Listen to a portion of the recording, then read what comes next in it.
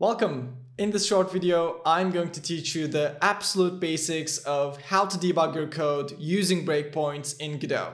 Debugging lets you stop the execution of the code and inspect each variable or how the code is behaving line by line.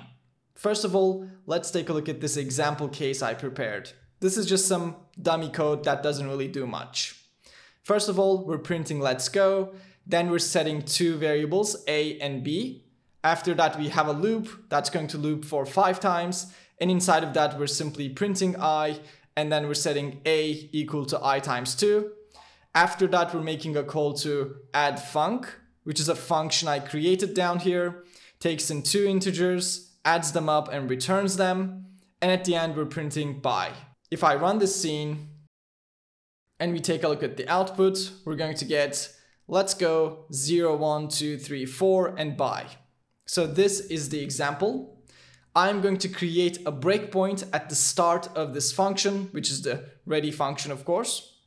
So to create a breakpoint, just go to the left side of the line that you want to create the breakpoint at. You're going to get this red dot. You're going to click on that, and that's going to set the breakpoint. Now when I run the scene, the execution of the code is going to stop at this line. And you can also see this yellow triangle here. That means this is the line that we're about to execute, but we haven't executed it yet. If we take a look at the output, you will see that nothing is printed yet. We're just at the start of ready. You can also see that once this line was reached, the debugger tab opened up at the bottom.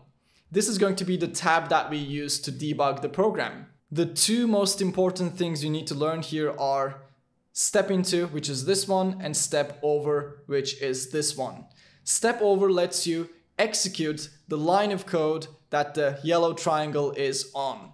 So for example, if I click on step over or use the shortcut, which is F10, the yellow line is going to go to the line underneath and this line will be executed. Now if we take a look at the output, you will see that let's go is printed. So this line was just run or just executed. Let's go back into the debugger. Here we have an option to you know, do step into as well. And this is just going to go into a function if we have one. I'm going to explain this a little bit more in just a second. Let's take a look at these you know, windows we have here. Stack frames is going to tell us which function we're currently in.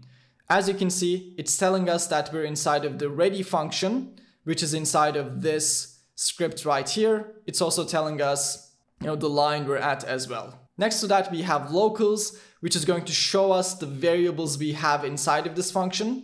As you can see, we have A and B, and they're set to be null here because we haven't set them yet. These lines we haven't ran, them yet. So that's why these are null. If I step over to the next line, A is going to be set.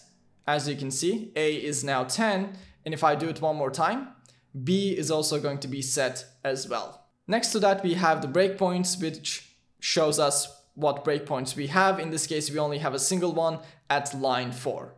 So this is the basic use case of a breakpoint. You can stop the execution at a certain line. You can then step over to the lines that you want to get to. And while you're doing that, you can take a look at the variables and how they're how they change. Now we're going to go into this for loop here. So I'm going to step over, get inside of that. And once we do that, you can see that we got the i, which is the loop variable, which is zero at the start. Now I'm simply going to loop a couple of times and you can see that i is increasing each iteration of the loop and we're also setting a to a different value. So this is excellent when you're looking for bugs or something isn't behaving in the way that you're expecting it to. You can simply put a breakpoint, stop the execution, go line by line and inspect inside of the locals tab here how the variables are changing and try to understand what's going on and maybe what's going wrong with the code. We can also take a look at the output tab and you can see that we're printing the loop variable in each iteration of the loop. So let's finish looping here. Once we reach the end, we're going to go to the next line and the next line is calling this function that we created. Now I'm going to show you the step into functionality here. If you use step over, you're immediately going to go to the next line. If you use step into, you're going to go into the function that you're about to execute. So first of all, I'm going to show you what happens if we do step over here. We're immediately on to the next line, to the print line, as you can tell. Now I'm gonna replay the scene. I'm gonna get to that point again. And now I'm going to step into. And once I do that, I go into that function, as you can tell. Inside of here, I have a new set of local variables because now we're inside of this function. We're not here anymore. And you can also see that in the stack frame as well. Take a look. We're currently inside add function, not ready, as you can see. Inside of here, we have a sum variable that we're about to set. Currently it's null. And we can also see the values we received for number one and number two. I'm going to step over. That's going to set sum. And on this line, we're going to go back into ready. So let's step over one more time. Now we're done with this line. We made the call to the function and we're at the last line of ready if we step over one more time, we're going to get out of ready and we're going to go into process because process is the function that gets called after ready and this will be called each frame now, but we don't really have anything in here. Once you're done debugging, you can click on this button to continue, you know, executing the game regularly.